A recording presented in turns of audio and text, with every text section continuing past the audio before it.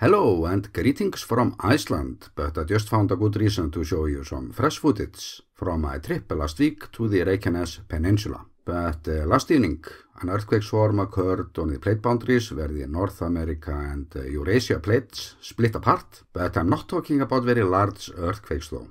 A few of them little over magnitude 3, but uh, large enough to make it to the news this morning, where one of our experts told us that uh, this location is unusual but we didn't get any more nuggets of information this time and uh, most likely this will just fade out. But my video from this place has its own story to tell.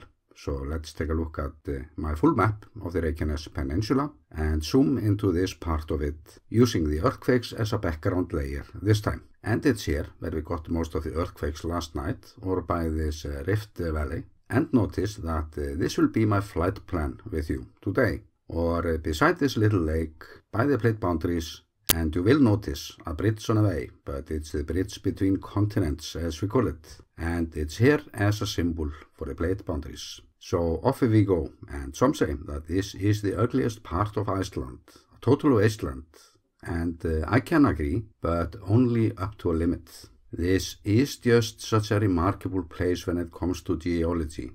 Not only is it a place where the mid-Atlantic ridge starts to stick up from the seabed and we call that part of it Iceland. It's also where you can see so well the continents as they drift apart in this very dramatic Rift Valley that uh, could be a strong background in any disaster movie. The uh, last eruption around here occurred during the 13th century but uh, not in the Rift Valley itself though. But the thing is that it's just so much going on around here. And one of our experts mentioned the other day that an undersea eruption is just as well possible.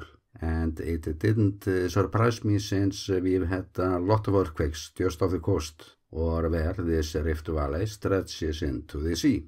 And the island out there is also from the 13th century and ancient and unreliable tales do even say that there once was land out there between the mainland and the little island Eldey.